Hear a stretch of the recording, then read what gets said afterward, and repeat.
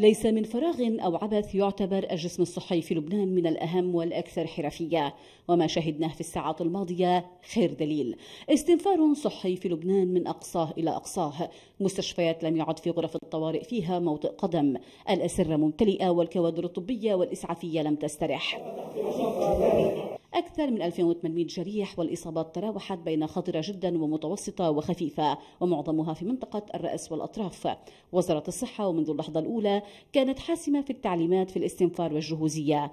وزير الصحة في رأس الأبيض جال صباحا على عدد من المستشفيات متفقدا حال الجرحى والطواقم الطبية. يعني للأسف صار نحن عندنا 12 شهيد.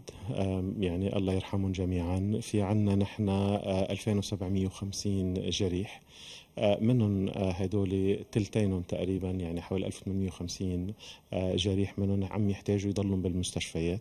في حوالي ال 300 هن بالعناية الفائقة. في حوالي 450 أو أكثر شوي عم يحتاجوا عمليات خاصة عمليات على العيون أو عمليات على الأطراف. وكذلك يعني في منهم وفي منهم تحكموا وطلعوا ولكن العدد اللي تحكموا وطلعوا المستشفى يمكن أقل من الثلث. إنه لولا إنه نحن كان عندنا خطط طوارئ لولا كان في سرعة بالاستجابة من القطاع الصحي لا سمح الله كان عدد الشهداء أكبر بكثير نحن السبب الأساسي إنه هدول هدول المرضى يعني لا زالوا معنا لأنه بسرعة المستشفيات قدرت آه يعني تستقبلهم قدرت تركب لهم مصل قدرت تعطيهم دم قدرت تعمل لهم عمليات للي بيحتاج عمليات. وهون أنا برأيي يعني التحية الكبرى للقطاع الصحي هو بالفعل إنه وبالرغم من كل الصعاب وبالرغم من كل الضغوط وبالرغم وبالرغم بس امبارح قدر يعني يقدم حقيقة يعني نحكي عن 70 مستشفى امبارح. نحن في حوالي 90 مستشفى يعني نحن وصلنا بالمستشفيات حتى بعتنا مرضى على يعني على الشمال. وهون مش بس بدي أحكي عن المستشفيات بدي أحكي كمان عن القطاع الإسعافي. يعني نحن قلنا فوق الألف إسعاف نقلت حوالي ال 1800 مريض وكانوا عم بيساعدونا خاصة لما أي مستشفى يكون فيها عدد جرحى كبير كانوا عم بيساعدونا ناخذ هالجرحى وننقلهم على مستشفيات أخرى. وهيدا سمح للمستشفيات أنه تأدي واجباتها يعني للمرضى اللي عندها من غير ما أنه يعني تتغرق. أو يصير عندها عدد كثير كبير من المرضى وما تقدر تلبيهم. وتطرق الأبيض للجسور الطبية الجوية التي بدت من قبل أصدقاء لبنان. حقيقة يعني نحن يعني بهالصراع مع العدو الإسرائيلي نحن الرساله اللي عم بوجهها كل هذه الدول هي واضحة وصريحة وهو ان الشعب اللبناني ليس لوحده مثل ما إنه الشعب اللبناني كذلك كان عم بوجه رسالة ل يعني الشعب الفلسطيني إنه أنت كمان منك لوحدك. المستشفيات كانت أمام تحد كبير لجهوزيتها. نحن كنا مسبقا عاملين خطة طوارئ لبعض الأحداث اللي ممكن تحصل بلبنان وخاصة بالظروف اللي نحن موجودين فيها.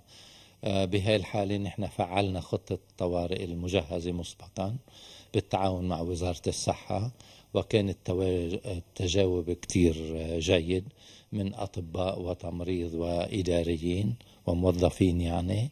آه، كنا نستقبل بمعدل تقريبا بالدقيقة بين حالتين لخمس حالات. آه، استقبلنا 121 إصابة هول حالاتهم آه، يعني كانت عويصة. آه، والأمور الحمد لله استوعبنا الأمر بشكل سليم. إحنا كنا عاملين يعني في موزعين الجرحى ل green area و red area والى آخره أو yellow area وبالتالي إنه حسب الحالات نحن وزعنا وطلعنا على العمليات وعلى العناية الفائقة و...